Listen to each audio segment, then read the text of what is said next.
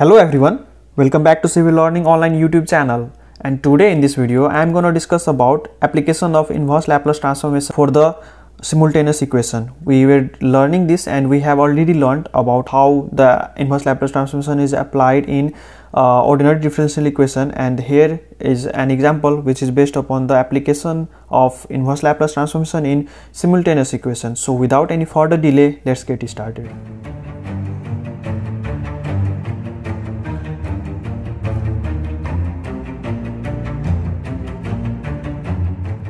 So i would like to recall you with some formulas like that we have discussed in the previous lecture and that were uh, like inverse laplace transformation of uh, dx dx will be uh, like s times laplace transformation of x minus uh, x 0 similarly inverse laplace transformation of d square x d represents the differentiation how many times we are going to differentiate. 2 means 2 times it is the x is differentiated twice. So we have here s square times laplace transformation of x minus x 0 minus x dash 0 similarly we proceeds so we have here two equations. So i'm going to write here solution solution uh, while solving uh, inverse Laplace transformation for simultaneous equation we will for first formula which we use is this formula. And I have discussed about this in my previous lecture. So you can you will get the link in the description or, or you can visit the playlist also. So I'm going to write here solution. And the first step is similar like that is taking Laplace transformation Laplace transformation on both side. So on taking Laplace transformation of both on both side we will have here this is dx by dt. So we can write it as s times Laplace transformation of x minus x 0 minus Laplace transformation of y. See we are just taking Laplace transformation on both side. And Laplace transformation of e to the power t will be 1 upon s minus 1 okay so this much for the first equation. This is first equation and this is second equation. So we have got this. Now we will solve this further. So we are provided that with the value that x0 equals to 1 and laplace transformation of y. So we will write it as s times laplace transformation of x minus 1 minus laplace transformation of y and bring this this side. So we will have here minus 1 upon s minus 1 equals to 0 i will explain you further why i have brought this portion this side. Uh, so we have here this is for first from the first equation. Again let's be denoted by equation 1 okay? Now we have again again we are using uh, Laplace transformation for this portion also. So from here we will have s times Laplace transformation of y minus y 0 plus Laplace transformation of x okay equals to Laplace transformation, of sine t will be equals to 1 upon s square plus 1 okay.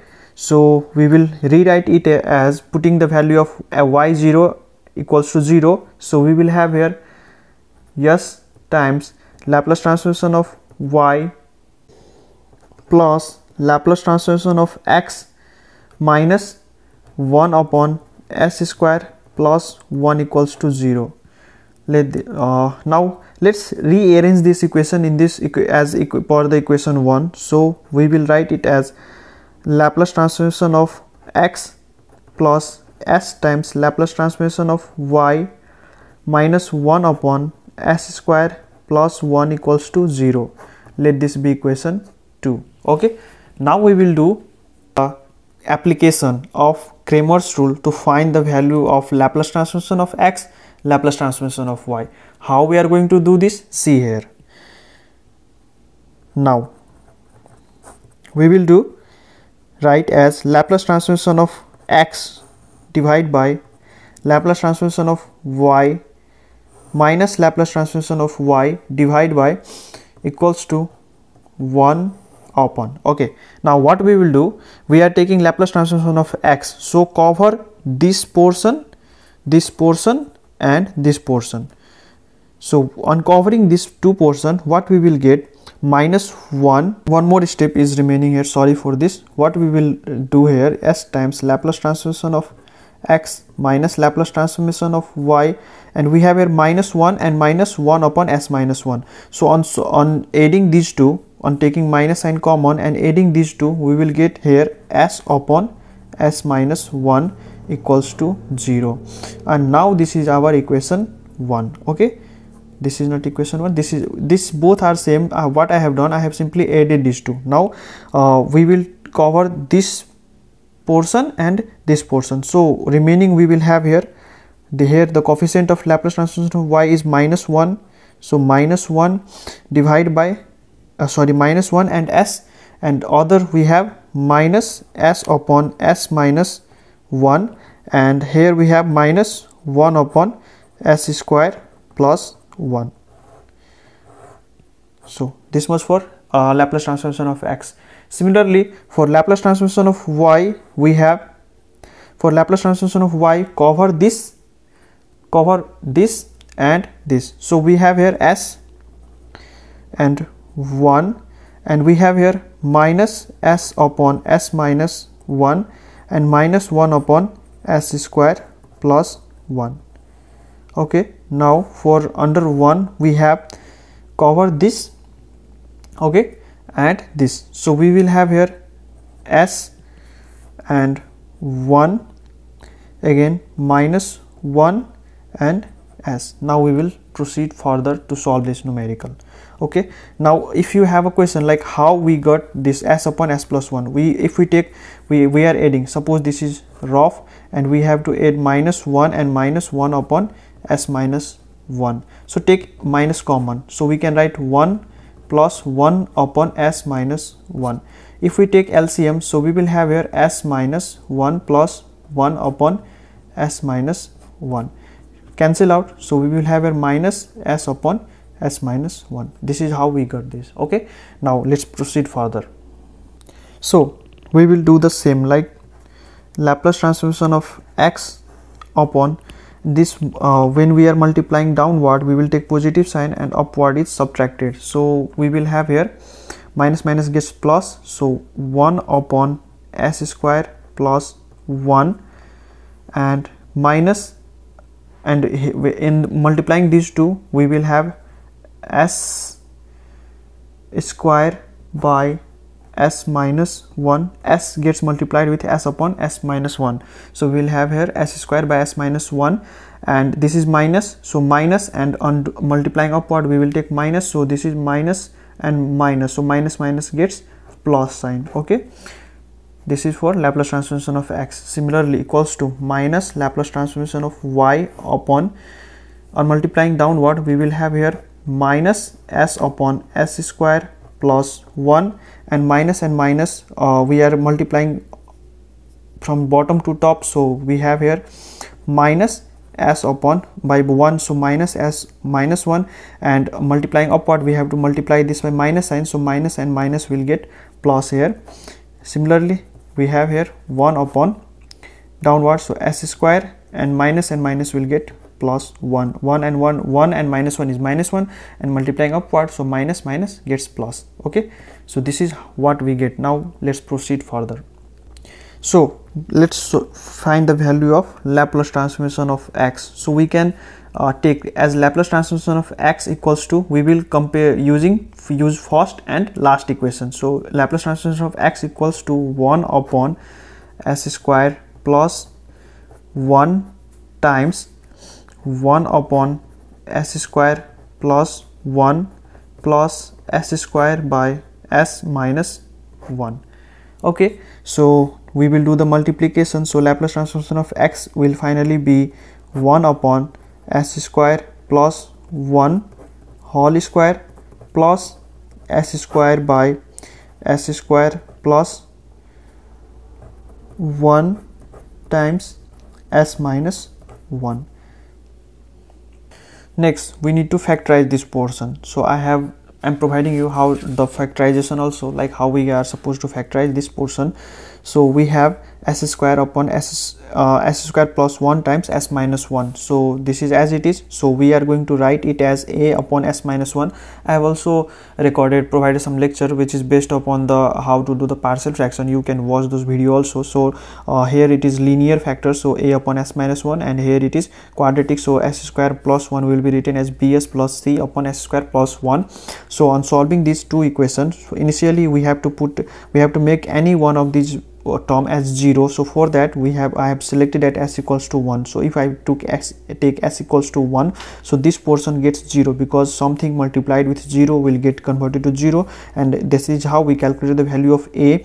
And we uh, on calculating the value of a we have to do the comparison. We have to do the comparison so that we will be calculate the we will be able to calculate the value further. So we have here here if we do the multiplication we have a times s square so a s square and bs gets multiplied with s so we will have uh, bs square so a bs square a s square plus bs square so from there we got a plus b. We have a s square plus b s square and we are comparing the constants so a and here on the left hand side we have s square so 1 times s squared. So a plus b equals to 1 this is how we got this equation. So we know the value of a is 1 by 2 so 1 minus 1 by 2 is 1 by 2 and a minus c equals to 0 so we already know the value of a. So we have got c equals to 1 by 2 now we will substitute this a b c value here. So on doing so we got the partial fraction as 1 upon 2 times uh, 1 upon 2 by this portion. So we can rewrite it as that inverse Laplace transformation of or in Laplace transformation of x equals to 1 upon s square plus 1 whole square plus and we have here 1 upon 2 times 1 upon s minus 1 plus s upon s square plus 1 plus 1 upon s square plus 1 now we will have here x equals to inverse Laplace transformation of 1 upon s square plus 1 whole square plus 1 upon 2 times inverse Laplace transformation of 1 upon s minus 1 plus inverse Laplace transformation of s upon s square plus 1 plus inverse Laplace transformation of 1 upon s square plus 1 i hope you remember this numerical in my which i have solved in the previous example using the inverse Laplace transformation and applying the convolution theorem so we will simply write the formula here. We will take it as a formula and uh, we know that inverse Laplace transformation of 1 upon s square plus 1 upon uh, s square plus 1 whole square equals to 1 upon 2 times sine t minus t times cos t plus 1 upon 2 times e to the power t plus cos t plus sin t. This is for the value of x. Now we will calculate the value of y. So we have here minus again minus inverse laplace transformation of y equals to 1 upon s square plus 1 multiplied by minus s upon s square plus 1 plus s by s minus 1. Next what we will do? See here. Minus Laplace transformation of y equals to multiply these terms. So we will have here minus s upon s square plus 1 whole square and plus s upon s minus 1 times s square plus 1 now we will do the multiplication with minus sign also. So we have laplace transformation of y equals to s upon s square plus 1 whole square minus s upon s minus 1 times s square plus 1 so again we have to the, do the partial fraction of this portion because we have here linear factor and here this is quadratic. So how we are going to do this? See here.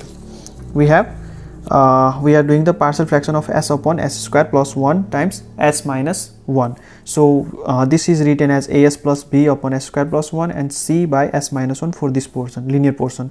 So initially we have to take one value which will uh, make uh, this any one of these two as 0 so initially I took s equals to 0 sorry s equals to 1 so that 1 minus 1 will get 0 and this portion gets 0 and it, uh, due to that we got to calculate the value of c. And after calculating the value of c we have to do the comparison. You can watch my lectures on partial fraction.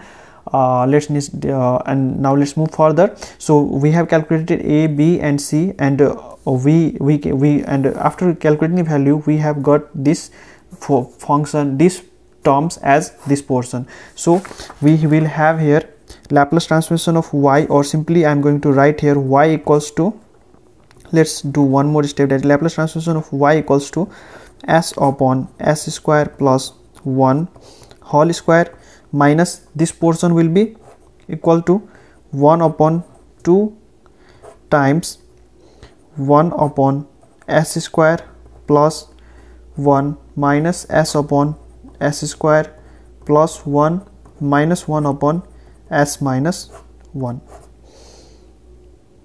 now the stage step is same that is laplace y equals to that is y equals to inverse laplace transformation of s upon s square plus 1 whole square minus 1 upon 2 times inverse laplace transformation of s1 upon s square plus 1 minus inverse Laplace transformation of s upon s square plus 1 and minus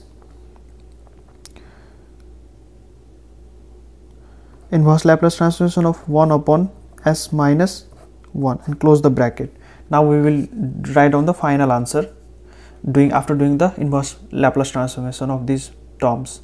So finally we will get y equals to 1 upon 1 upon 2 t sine t